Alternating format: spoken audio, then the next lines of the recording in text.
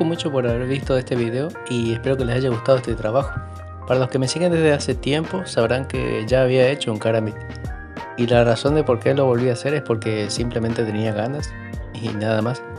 El primero es negro mate y este tiene un acabado espejo. Antes de pasar a las imágenes finales quisiera mostrarles este pequeño pero notable error. Es una marca hecha con la moladora que no logré sacar ni con la lima ni con las lijas. Es una cosa que ciertamente me molesta, pero que si intentaba quitarla, capaz que terminaba empeorando más todavía esa marca. Pero fue una cosa mía, no tengo excusas. Realmente sé que se me fue la mano con la moladora en su momento.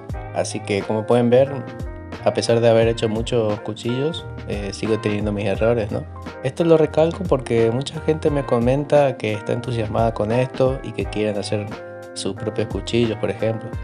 Así que uno de los principales consejos es que no se apuren y sean meticulosos. Pero si les ocurre algo como eso, eh, simplemente sigan porque no vale la pena enojarse y dejarlo a un lado.